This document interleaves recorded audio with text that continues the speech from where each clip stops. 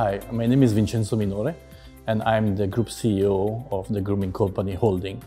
The, the business is operating since 20 years. Uh, as I said, we have six different brands, but today we are here to speak about N.BAR, that one is one of our brands.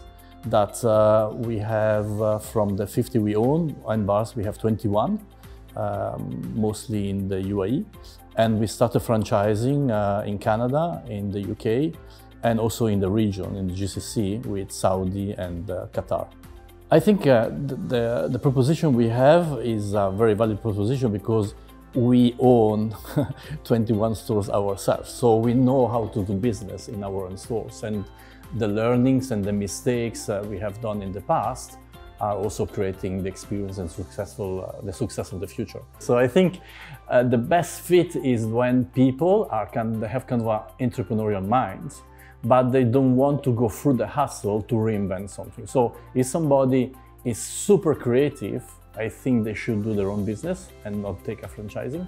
But if they are super entrepreneurial, they want to see a return investment quicker, they don't want to make the mistakes that everybody has done in, in putting on their brand, I think that franchising is a, is a good fit.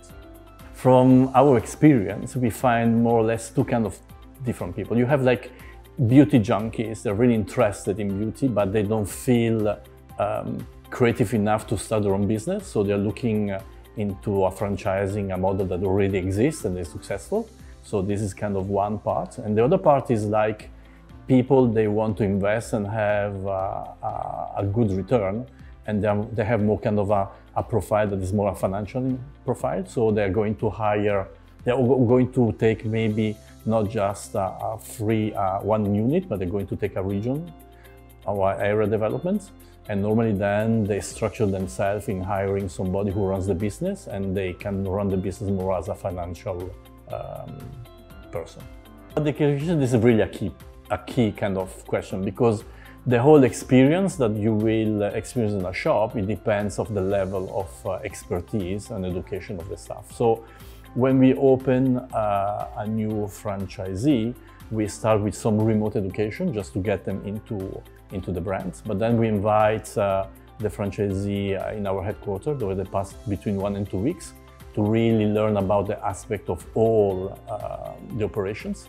And they have also the opportunity to really experience the operation in our own shops. That is very important. We are kind of uh, very successful in the UAE. We bring this concept uh, across the world and uh, we, have, we are going to focus on the UK. And there is no uh, way that you can build a, franchising business in the UK be, without being associated with BFA. So for us, is I think it gives us kind of a credibility uh, piece that uh, we need to be uh, a serious franchisor in, in the UK. And uh, as we just started five months ago, I think uh, we're kind of the honeymoon phase, and I think uh, we will kind of uh, be a good partner of BFA, and I think BFA will bring us uh, quite a lot for the future.